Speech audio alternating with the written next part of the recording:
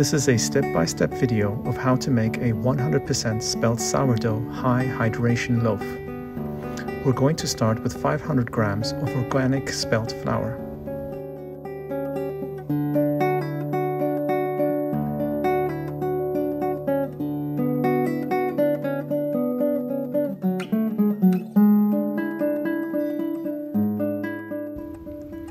Next, we add 10 grams of salt.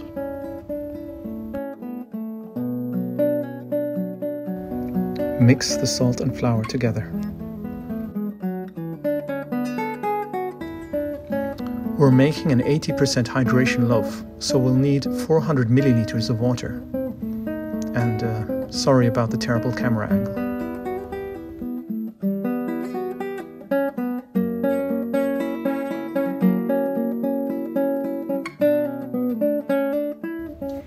We add the water to the flour and salt mixture, and then we add the starter.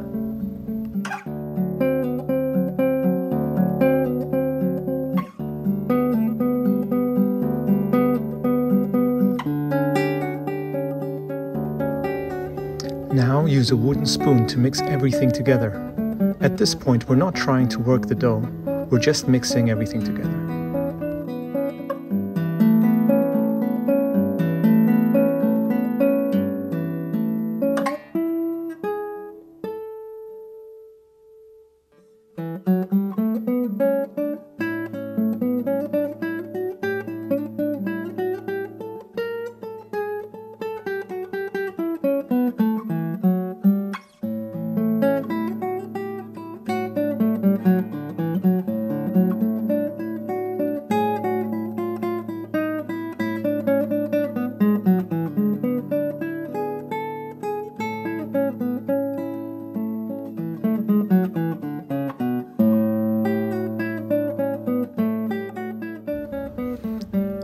Some olive oil around the edge of the bowl.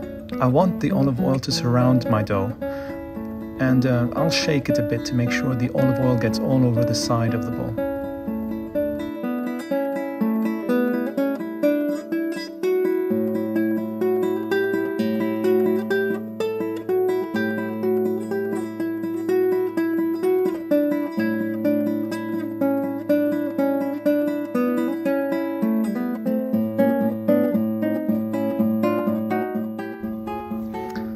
After letting the dough rest for 10 minutes, it's time to fold the dough.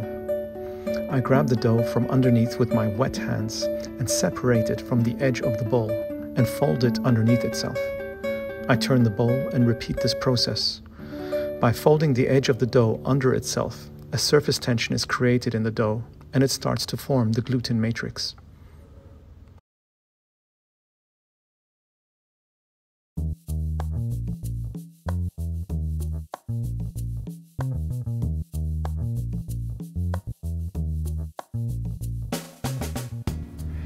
I repeat this process at 20 minute intervals three times.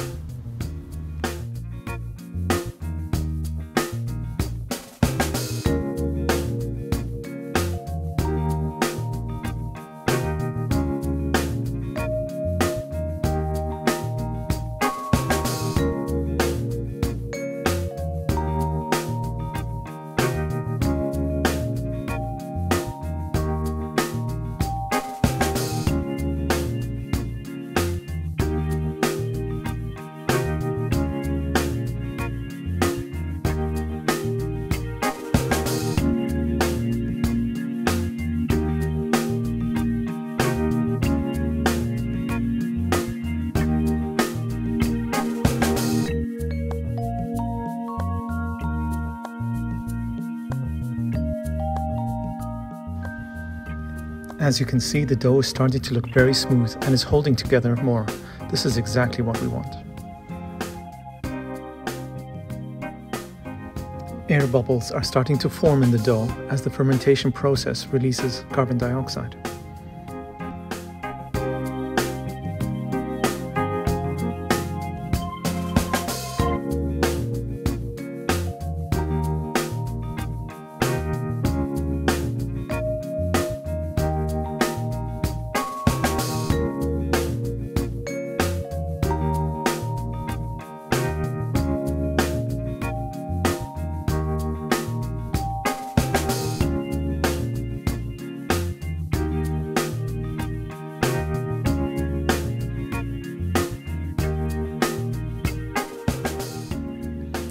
I've added some rice flour to my work area and now I'm going to do a final fold in the bowl.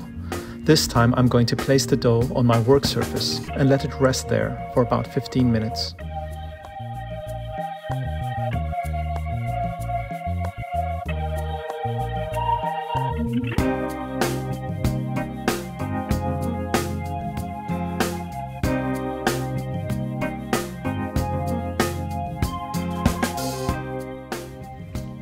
While I'm waiting, I'll get my form basket ready. If you don't have a basket, don't worry, you can use a regular bowl and line it with a kitchen towel and sprinkle some rice flour on it.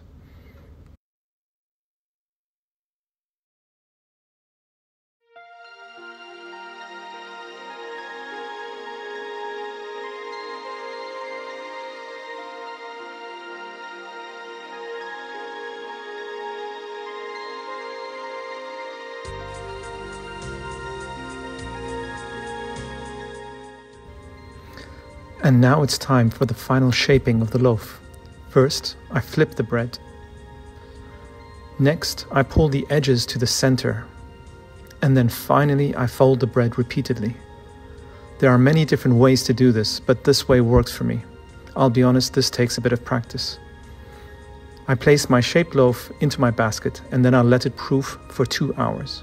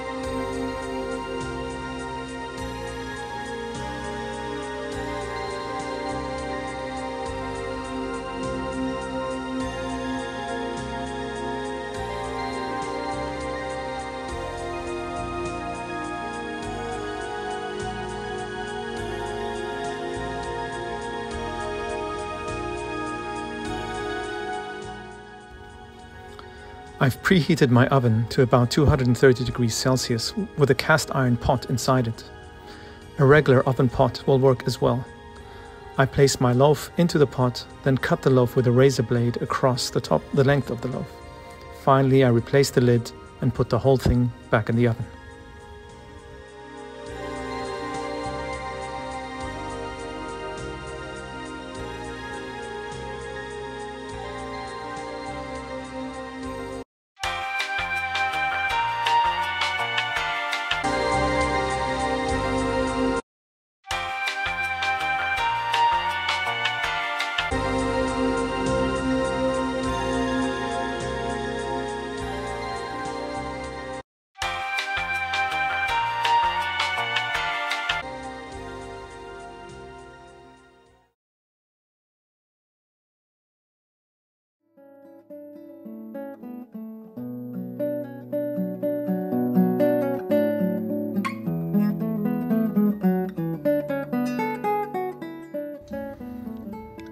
It is. The bread looks great and it sounds hollow, which is exactly what we want. Now it needs to cool for at least an hour. Personally, I let it sit overnight. The next morning, someone has already cut open the loaf. I'm not sure who it was, but I suspect my wife. As you can see, the crumb is nice and even and the bread looks great. Only one thing remains.